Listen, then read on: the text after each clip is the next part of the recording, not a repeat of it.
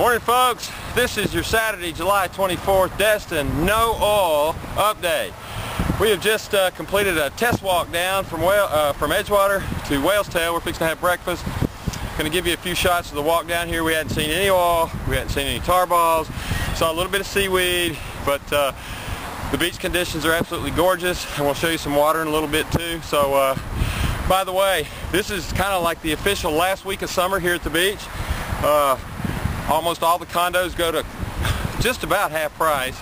A lot of them have rent three, get one free type deals, so uh, I'd be calling condos and checking it out. Uh, but I can tell you most of them, for the most part, are all booked the first week of August.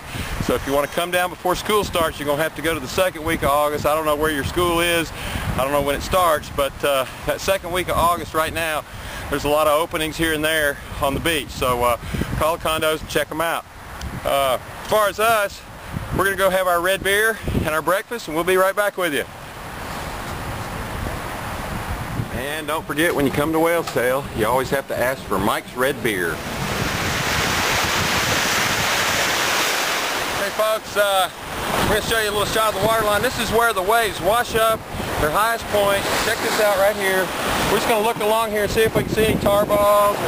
Come on with me. If you look, this whole area, A little bit of seaweed here and there. But pretty much, that's it. We've been up and down these beaches. Hadn't seen a gall darn thing. I just want to say hi from all the people we've met this summer. It's been a great time all the way since May 22nd.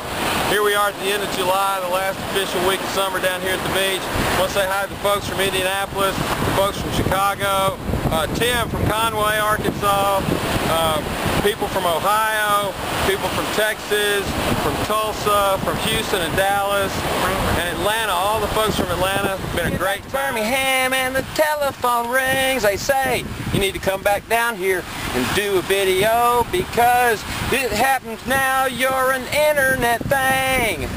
And Louisiana, and uh, Kansas, and uh, let's see where else. Oh, Nebraska and Montana. Don't forget Montana, the guy from Montana.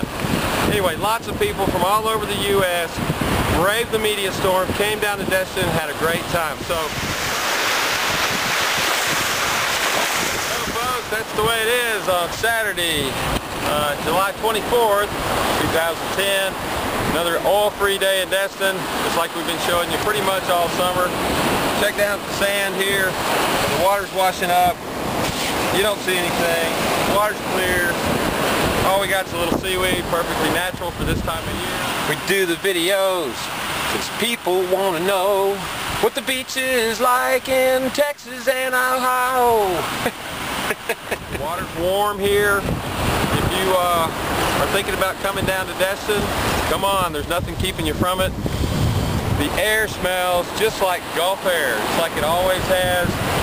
The only thing missing here is you.